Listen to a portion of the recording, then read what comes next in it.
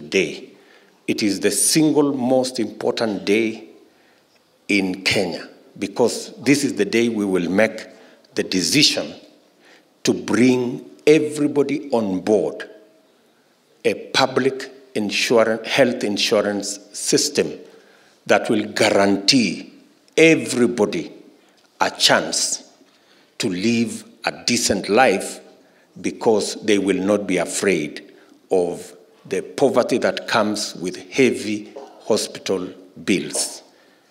And I want to ask every member of parliament to step forward and be counted so that this country can implement the universal health coverage that is now four years behind schedule.